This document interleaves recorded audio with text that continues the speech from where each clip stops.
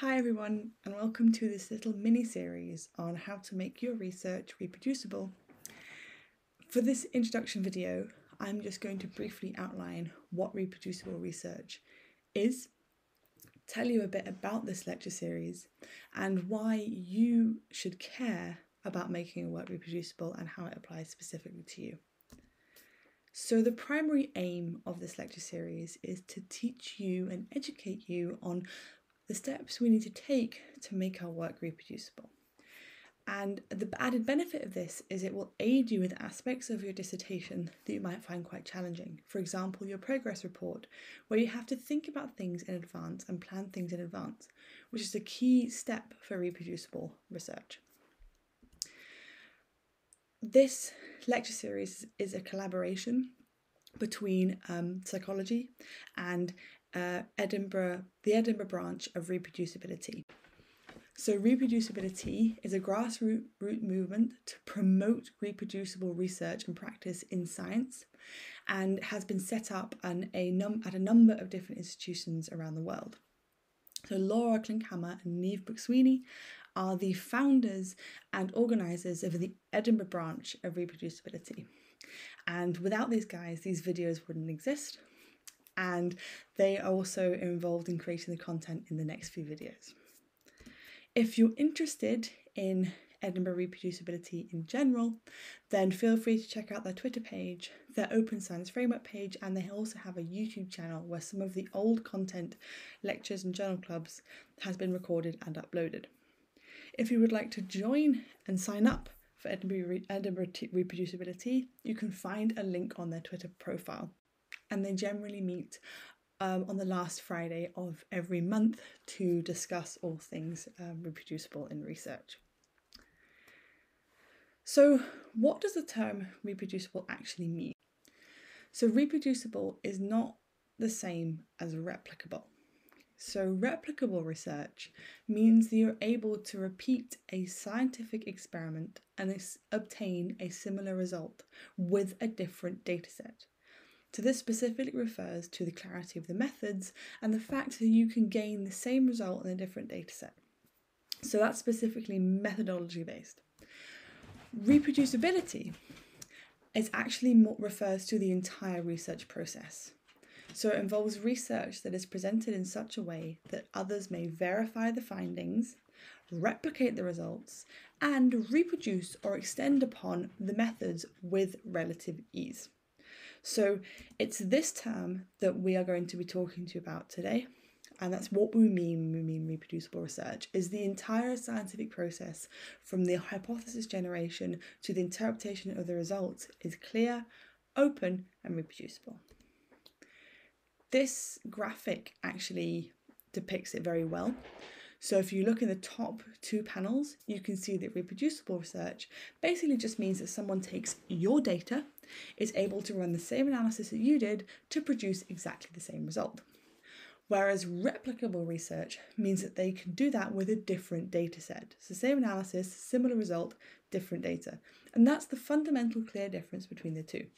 One, reproducibility, takes effort across the entire research process. And that should in turn make your work more replicable. There are a lot of different ways that you can make your work reproducible. It's not an all or nothing process. So any element of reproducibility in your work is seen as a good thing and you are and researchers pioneering for this strongly encourage that you just do your best and make your work as reproducible as you can at the time. To have reproducible work, ideally you want your work to be accessible, so easily interpreted, replicable, as we've already discussed, transparent, so your methods and what you did is very clearly done, traceable, so the logic and the red thread through your research is very clear, and also open. So things like your data analysis and your data itself open and available for people to look at. And the key element behind all of these things is honesty. And if we are honest with what we do and we are clear about what we do, then our work is far more likely to be reproducible than if we paint a slightly muddy or distorted picture. And this is what we strive for in science, is the fact that what we have found is an honest truth, a fundamental truth about the world or humans. So to be able to conduct reproducible research, we're going to give you the three T's or the three pillars of re- reproducibility to live by. So the first is think before you do. And this seems like it should be fairly obvious, but when it comes to data, what we usually do is get all of our data and then once we have it, decide how best to analyze it. When the appropriate best practice is to actually decide on your analysis methods before you've collected your data, which is not a normal thing to do and it's quite challenging. And this is just one example of how you can be trained to think before you do. And the second one is to trace your steps. So the reasoning behind any of the decisions that you made need to be clear and obvious so other people are able to follow that logic of reasoning and replicate and reproduce your results. And the third is to be transparent. That is by far the most important. You need to be clear about what you did, how you did it, and the results that you obtained. Because if you distort this or manipulate it anyway, then your results can no longer no longer be reliable or valid. So this lecture series is going to focus on those three T's of reproducibility. So aside from this introduction video, you're going to get four other videos that go through those three steps, thinking before you do, tracing your steps, and be transparent, and how you can apply that to your research and specifically your dissertation. These videos are going to be supported by two live sessions. So the first live session will occur shortly after your poster session, so maybe mid-November, and the second one will occur in semester two, um, and that's yet to be decided.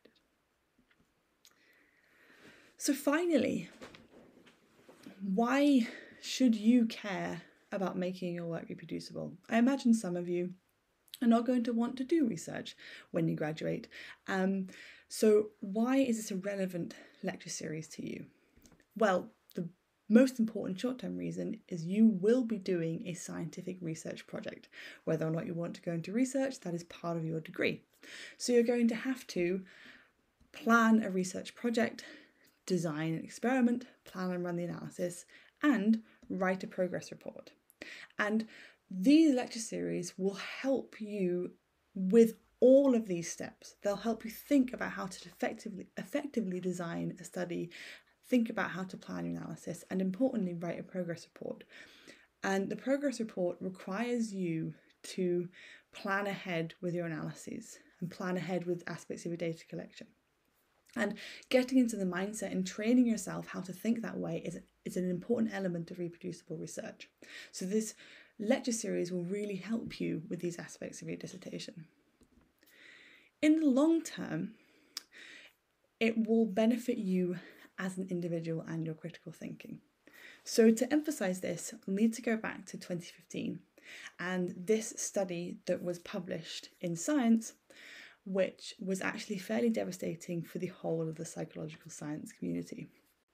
So, if you haven't heard of it, a large group of scientists decided to replicate, which means try and reproduce the results using different data of 100 studies, right?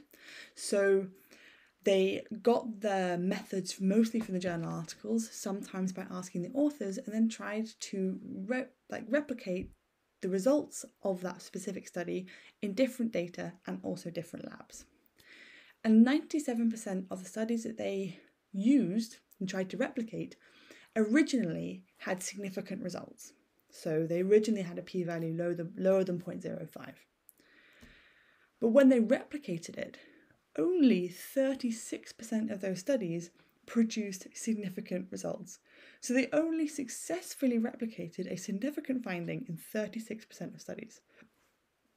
Which means that there was over 60% of studies that had a significant result originally and didn't replicate.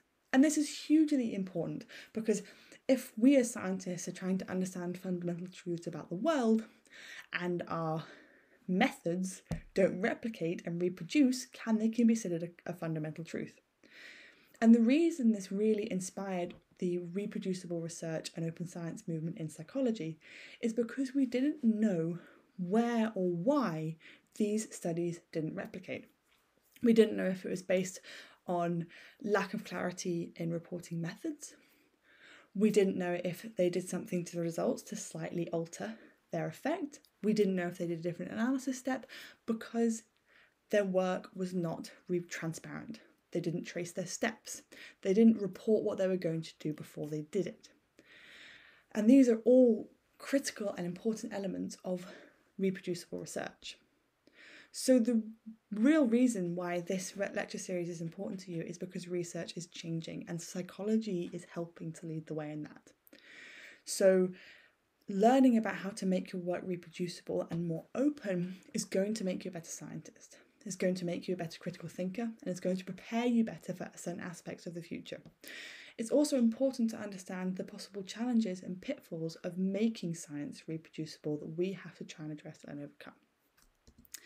Also, you're already implementing some of these reproducible practices because, um, specifically with statistics, you learn R and you learn to code. And coding and having an analysis pipeline that you can clearly follow through code is a key element of making the work you do and we do more reproducible. So you're already one small step of the way to making reproducible research. And it's just t- continuing to make those tiny steps in research that really helps to make work more open and reproducible and make us understand whether or not the findings that we achieve are actually might be fundamentally true.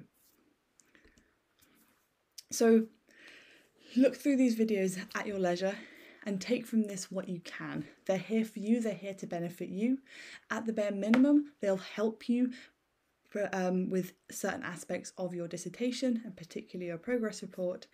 And Hopefully, they'll give you a good insight into the open science and reproducible movement and why it exists and how you can implement it in your own research. And maybe it might change your perspective on scientific research as a whole. Thanks very much for watching this video. Um, if you have any further questions about any of the following videos or this little introduction that I've made, please feel free to contact either myself, Laura, or Niamh. We'll be very happy to answer your questions, and I hope to see you in the live session.